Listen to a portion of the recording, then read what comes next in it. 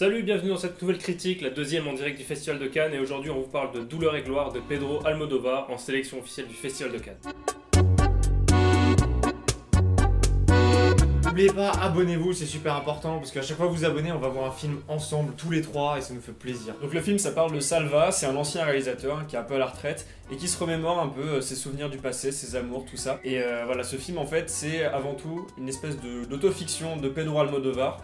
Et euh, pour ceux qui sont habitués à sa filmographie, s'ils le connaissent bien, ils reconnaîtront certains passages, certains personnages. Au casting on retrouve Antonio Banderas dans le rôle principal et également Penelope Cruz, euh, Mhm. c'est les deux têtes d'affiche du film. On a d'autres acteurs, j'ai pas les noms, mais euh, je sais que l'enfant, euh, le personnage qui jouait l'enfant, il jouait très très bien. Au niveau des personnages, je trouve que Antonio Banderas tient totalement l'affiche, il est euh, exceptionnel dans son rôle.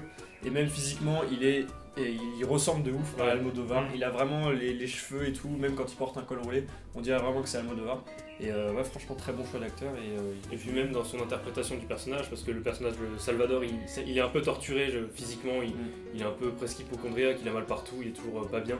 Il arrive bien à retransmettre ce malaise à l'écran, on sent qu'il est, il est mal à l'aise en fait quand dans ses attitudes de personnage, ça rend vraiment bien. S'il y a un truc qui ressort en particulier de la réalisation de Almodovar, c'est que ce- cette personne aime beaucoup les couleurs et euh, les motifs. Voilà, et ses plans sont très très colorés. Il, il met de la couleur partout où c'est possible et les personnages ils s'habillent avec des, des vêtements, avec des motifs, des rayures, des carreaux, enfin plein de choses. C'est très coloré, c'est Ouais. très riche. Il y a personne qui va avoir un t-shirt blond. Non, euh, Ouais, ouais, voilà. C'est que de la couleur. Les habits sont toujours en accord avec le fond ou avec la ça. situation. Il y a toujours un, un rappel comme ça et euh, il gère ça, mais vraiment bien. Une belle palette de couleurs. Ces scènes sont un peu des, des- des peintures, un peu à la Miro, euh, genre très espagnol. tu vois. Tu, sens, tu sens, tu sens qu'il y a Côté l'Espagne. espagnol, ouais. Ça sent la salsa et tout. Et même c'est un peu en contraste avec le, le personnage qui est, on va dire que c'est le mec le plus joyeux du monde. Quoi. Ouais, il vit dans, dans un monde très coloré et c'est un beau contraste. Donc, comme je disais, il y a les fonds surtout, donc les décors. Et euh, là, Pedro Almodovar joue vraiment beaucoup là-dessus dans sa mise en scène. Notamment, je me souviens d'une scène où euh, il y a un personnage qui est devant un fond rouge et après il passe devant un fond blanc qui est un écran. Et tu. Ça, ça joue à chaque fois avec ce qu'il dit. Par exemple, le fond rouge, c'est euh, lorsque c'est quelque chose qui, qui est plus angoissant, euh, plus violent. Et quand c'est le fond blanc, c'est euh, pour rappeler.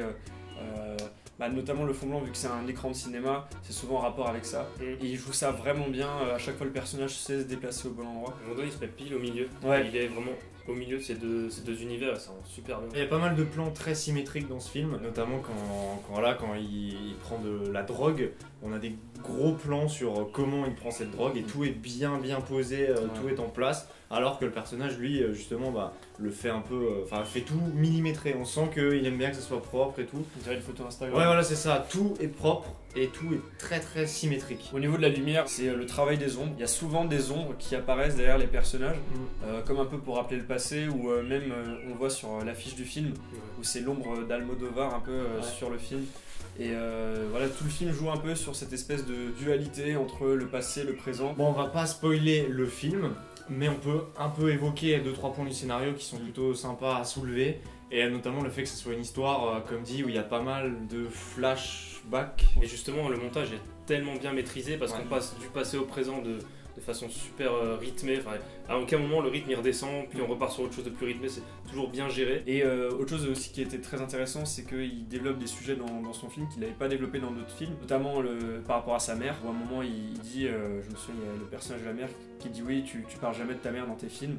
Et, euh, et là, tu fais, waouh, c'est la première fois qu'il parle de sa mère, et tu sens qu'il a vraiment voulu euh, le mettre. tu vois, il a- il a- Enfin, il a, Il voulait lui rendre hommage. voilà, il voulait vraiment lui rendre hommage. Tout le film, c'est un peu quelqu'un qui a pas encore tourné la page.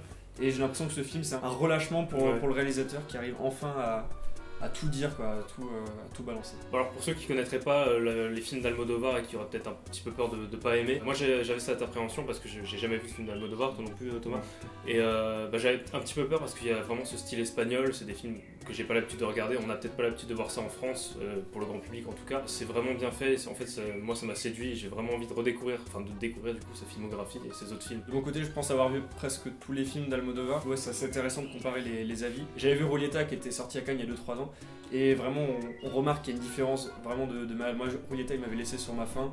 Euh, il y avait vraiment, j'ai l'impression qu'ils avaient pas réussi à développer tous les scénarios, toutes les intrigues. Je pense qu'il a vraiment voulu faire une œuvre parfaite pour résumer un peu sa vie. Il a fait un truc très bien, et on l'évoquera pas ici dans le détail, c'est il a bien fini son film, Ouais. et comme je dis toujours, on reste sur la fin. Quand on regarde un film, c'est toujours la fin qui va le plus nous impacter. Si elle est pas bonne, on va avoir une mauvaise image du film. Bah, tu vois, c'est parce que les autres films d'Almodovar, euh, Parle avec elle ou euh, La Piel Cabito, Ceux-là, ils ont, euh, ils ont une fin qui est, qui est parfaite, où c'est comme exactement comme dans la douleur et gloire, où tout s'enchaîne et à la fin, il y a un gros, euh, un gros twist, un truc de fou, tu fais, oh putain, mais c'est quoi ce truc? Et dans Rouilletta, il n'y avait pas ça, Ah et euh, c'est là que tu, tu te dis, ok, s'était peut-être un peu perdu dans ce film-là. Il y a une frustration du coup euh, quand tu vois.